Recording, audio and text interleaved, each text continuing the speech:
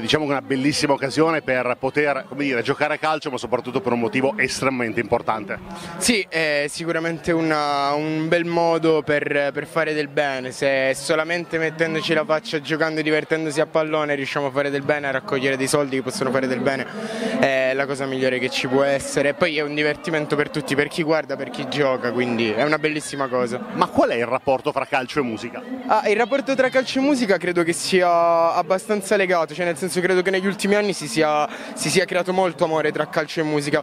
Non lo so, un esempio credo lo faccia Brescia che scrive l'inno del, del Genova. Eh, quindi credo che ci sia un collegamento importante tra tifoserie, eh, anche odio, eh, anche odio. Succede anche che magari un artista va in un determinato posto e prende insulti perché ti fa un'altra squadra.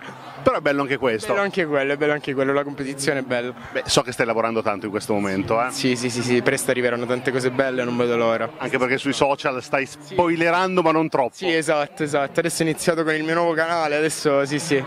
Grazie. A te, buona musica e buona partita. Grazie, ciao.